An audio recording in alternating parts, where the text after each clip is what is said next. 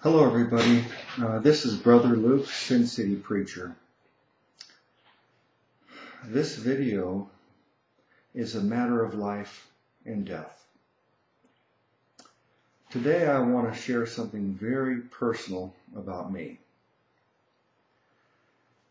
I was born with a terminal illness. I was told that someday I would die and there was nothing I could do about it. So I asked, why? What, what disease do I have? The disease I have is mortality, the human condition. I learned that I would certainly die from something if a disease didn't kill me or an accident didn't kill me, eventually my body would wear out. Old age would kill me.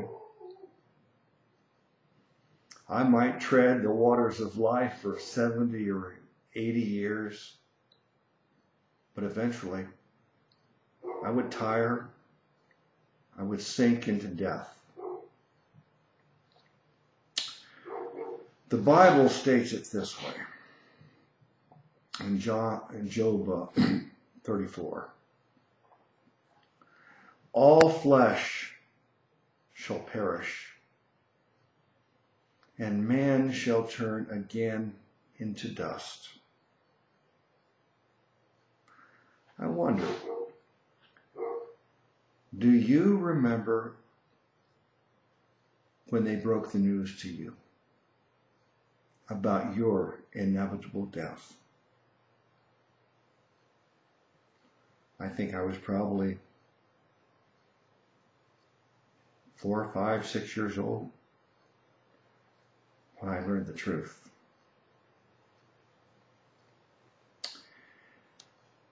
I want to tell you what happened in the Garden of Eden so you can understand our situation.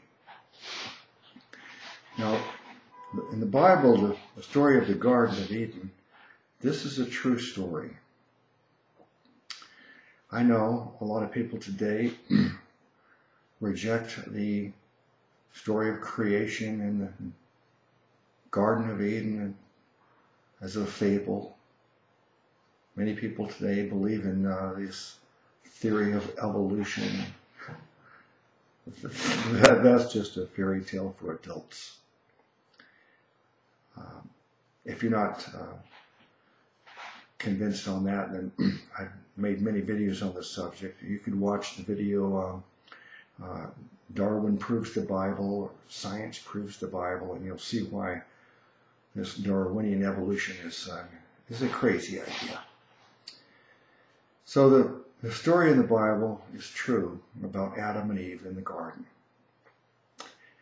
And what happened there is very important for you to understand why we will all die.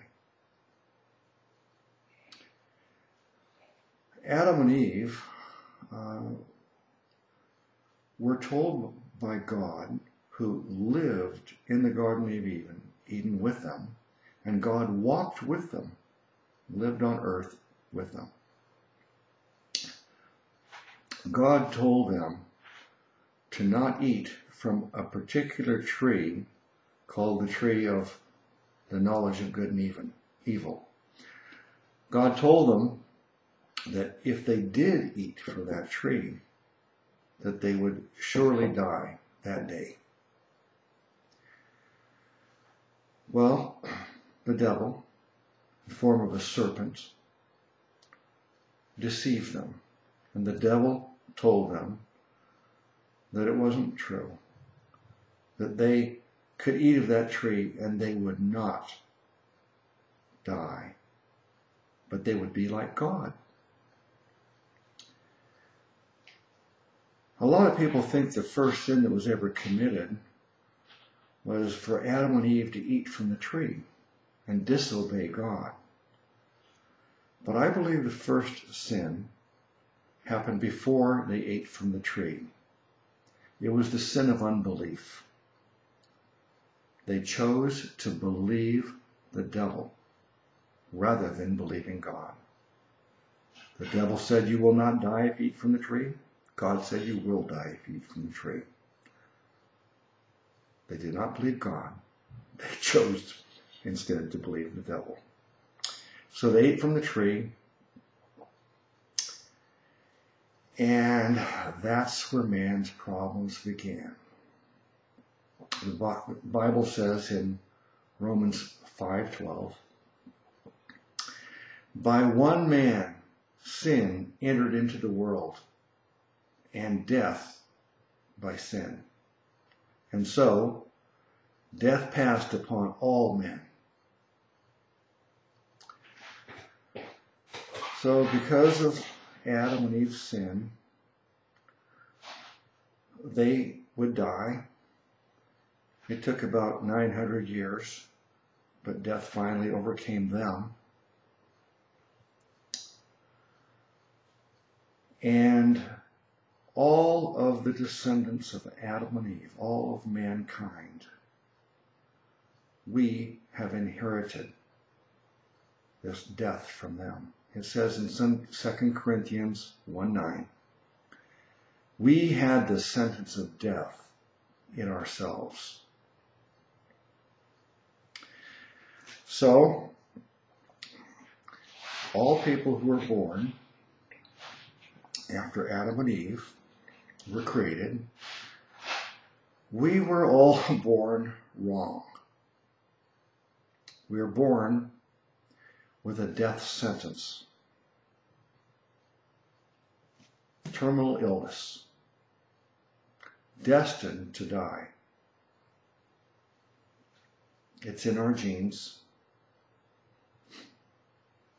I guess it's a, a birth defect and there is nothing we can do about it. Or is there? You see, God does not want us to die.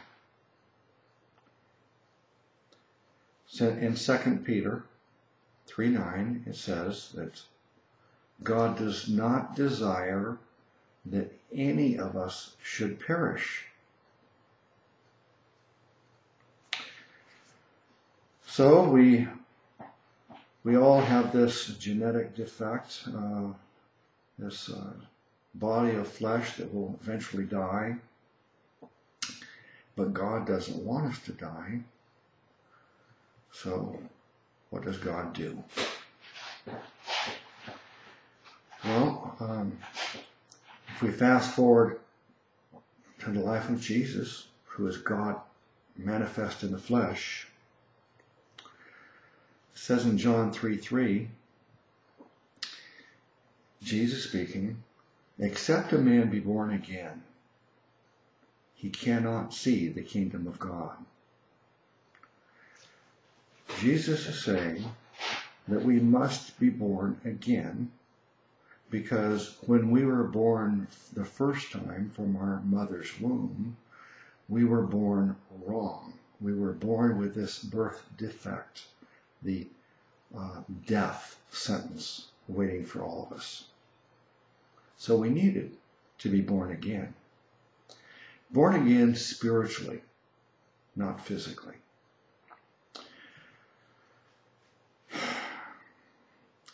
So something had to happen so that we could be born again and have eternal life. In Hebrews 2 9, it says, By the grace of God, Jesus would taste death for every man. In Romans 5:17 it says, By one man's offense death reigned by one. Much more they which receive abundance of grace and of the gift of righteousness shall reign in life by one, Jesus Christ. So because of one man, Adam, death was passed on to all of us. But because of another man, Jesus Christ, God manifest in the flesh, righteousness, the gift of eternal life, could be given to all of us. In John 3:15 it says, "Whosoever believeth in him should not perish, but have eternal life." So whoever believes in Jesus Christ will not perish, will not die, but instead will have eternal life. John 3:16 says, God so loved the world that he gave his only begotten son that whosoever believeth in him should not perish but have everlasting life. So God saw our hopeless condition, that we all had this death sentence, a terminal illness, and it needed to be cured. We needed to be healed. God didn't desire that any of us should perish and die, so God loved us so much that he sent his son, Jesus Christ, God in the flesh, to die for our sins, to die so that we could live. In John 5:24 it says when we believe on Jesus we have passed from death unto life. So the death sentence on us is removed. Our terminal illness is healed. And we have life everlasting when we believe on Jesus Christ for our salvation. Revelation 21 4 says, God shall wipe away all tears from their eyes, and there shall be no more death, neither sorrow, nor crying, neither shall there be any more pain, for the former things are passed away. I love this verse. God wipes away all our tears. We'll never have to cry again. There'll be no more sadness, no more reason for tears, no more death, just eternal life. No more pain personally, I've had a lot of physical pain in my life. but I'm, I'm happy to know that eventually my pain will be gone forever. 2 Timothy 1.10 it says, Our Savior, Jesus Christ, who hath abolished death and hath brought life and immortality to us you see, as a human being, we're born as mortals and we will eventually die. But our Savior, Jesus Christ, He cured the problem of death, He abolished death, and He brought life, immortality to us. We get life, we get immortality, eternal life, when we put our faith on Jesus as our Savior. Romans 3, 6.23 says, The wages of sin is death, but the gift of God is eternal life through Jesus Christ our Lord. It might be one of my favorite verses in the whole Bible. In that verse it says the wages of sin is death. It's because of man's sin, because of Adam and Eve sinning, and we inheriting this uh, uh, terminal illness, this mort- mortal body that's destined to die. The wages of sin is death, but the gift of God is eternal life. We can receive eternal life as a gift from God through our faith in Jesus Christ. 1 Corinthians chapter 15 it says, so when this corruptible shall have put on incorruption, and this mortal shall have put on immortality. Then shall be brought to pass the saying that is written, Death is swallowed up in victory. O death, where is thy sting? O grave, where is thy victory? Jesus Christ defeated death for us. We no longer have to fear death. We will live forever in heaven because of our trust in Jesus Christ as our Savior. I guess I would choose John 14:6 as my favorite verse in the Bible. Jesus said, I am the way, the truth, and the life. No man cometh unto the Father but by me. In that verse, Jesus proclaims that He's the way. He's the way to receive eternal life. He's the way to get into heaven. He even says He's the only way. You can't receive it any other way except through Him. He says He's the truth. If you want to know the truth is, it's a man, Jesus Christ. He says He's the life. He is eternal life. And He gives it to us when we trust Him. Trust Jesus Christ. Put your complete faith and reliance in Jesus Christ for your salvation.